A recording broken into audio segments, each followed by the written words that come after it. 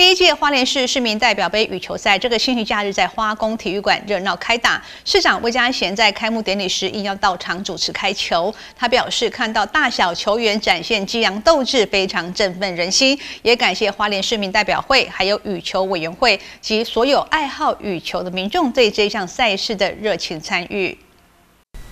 花莲市市民代表杯羽球赛这个星期假日登场，有将近四百位的选手报名参赛。除了花莲在地选手，还有宜兰县选手也跨县来交流。在这次亚奥运，我们看到林洋配号得到了世界的金牌，那也呃让更多的孩子们对于羽球的活动有非常呃热烈的一个学习哈。那我们可以看到很多的比赛陆陆续续都雨后春笋的出来，但是我们在花莲的部分哈，在羽球比赛。仍然是比较欠缺，所以自从市长杯举办了第二届之后，那很多的代表会的呃代表们都有提议，是不是能够办理相关更多的比赛？所以我们这次跟市民代表会一起结合起来，办理一个市民代表杯，让更多的孩子有更多的机会，能够在比赛当中。呃，学习临场的一个反应。那我们可以看到，我们的孩子们哈，在比赛过程里面，真的每一个技术都有大幅的精进。那未来花莲市公所也会编列更多的体育预算，让更多的孩子能够在球场上竞技之外，也能够学习到比赛场上的一些临场反应，对于未来之后绝对有很大的帮助。因为这次疫情结束以后，哦，啊，我们市民代表们觉得。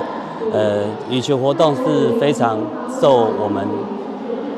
国民所重视的。那借这个机会，我们也可以推广羽球活动，那集合大家的经费预算，哦，来来合力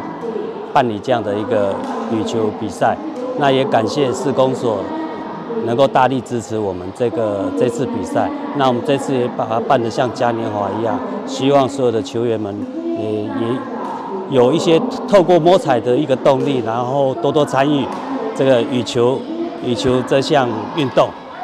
市长魏家贤应邀为活动开球，与会者包括了市民代表会的副主席李政伟、市民代表黄达祥、江如林、谢豪杰、肖明龙，还有县员林中坤、张美惠及名校里的里长黄石贵。除了羽球比赛之外，现场还有摸彩活动。力促这场赛事的市民代表黄达祥感谢代表会同仁还有施工所大力支持，让这次比赛就像是嘉年华一样，在丰富奖品的摸彩动力之下，多多参与羽球运动，每个人发挥实力，获得最好成绩。